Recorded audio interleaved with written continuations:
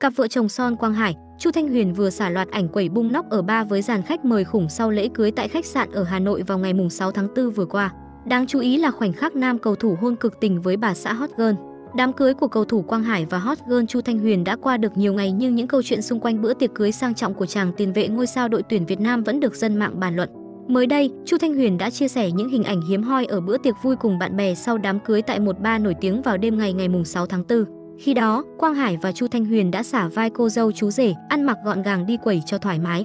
Mẹ bầu Thanh Huyền đi giày bệt, diện váy trắng xinh đẹp còn Quang Hải đi giày thể thao, diện đồ jean đơn giản. Dù đang mang thai con đầu lòng nhưng Chu Thanh Huyền không bỏ lỡ cuộc vui tới khuya.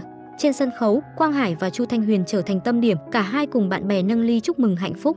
Trong nền nhạc sôi động và tiếng giao hò của bạn bè thân thiết, Quang Hải cùng Chu Thanh Huyền quấn quýt trao nhau nụ hôn sâu. Cả hai không ngần ngại thể hiện những cảm xúc say đắm dành cho nhau trong một không gian riêng tư và trước những người bạn thân thiết nhất của mình. Hoạt động vui chơi trên ba này, cô dâu chú rể đã cẩn thận nhắc nhở khách mời không quay phim, chụp ảnh. Hình ảnh được đăng tải là do ekip chuyên nghiệp chụp và đã qua sự kiểm duyệt của cặp đôi mới tung lên mạng xã hội. Tham dự buổi tiệc ở ba còn có sự tham gia của dàn khách mời khủng như ca sĩ Hòa Minzy, diễn viên Bảo Hân, Hà Đức Trinh, tất cả đều quẩy tung hết cỡ, vui hết nấc cùng cô dâu chú rể, mừng cho ngày cả hai về chung nhà sau những năm tháng yêu nhau. Sau khi hôn lễ rình rang chính thức kết thúc, vợ chồng Quang Hải gửi lời cảm ơn trên trang cá nhân, đồng thời thông báo tin vui. Cảm ơn gia đình và cảm ơn tất cả bạn bè, người thân đã cùng Hải chia sẻ những khoảnh khắc quan trọng trước khi Hải chính thức bước vào một chặng đường mới. Ở chặng đường này, Hải có lẽ còn phải học nhiều điều, nhưng chắc chắn là vô cùng hứng thú khi có hai người bạn đồng hành. Đó là vợ Chu Thanh Huyền và một bé trai chưa nhìn cũng biết là vô cùng đáng yêu. Trên sóng livestream, Chu Thanh Huyền chia sẻ, tôi trộm vía cũng không bị ngén gì đâu.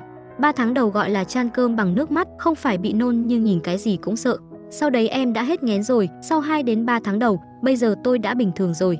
Tâm sự của người đẹp vô tình tiết lộ cô đang mang bầu được hơn 3 tháng. Giống như các chị em phụ nữ khác, vợ Quang Hải cũng có nhiều dấu hiệu của mẹ bầu như buồn ngủ, thường xuyên ngáp, dùng tay đỡ bụng. Khán giả gửi lời chúc mừng hạnh phúc của Chu Thanh Huyền và cầu thủ Quang Hải, họ sẽ đón bé rồng vào cuối năm nay. Quang Hải và Chu Thanh Huyền yêu nhau 3 năm, cùng nhau trải qua nhiều sóng gió trước khi lập gia đình. Ngày cưới, Quang Hải hy vọng sẽ cùng bà xã tiến tới một tương lai tốt đẹp.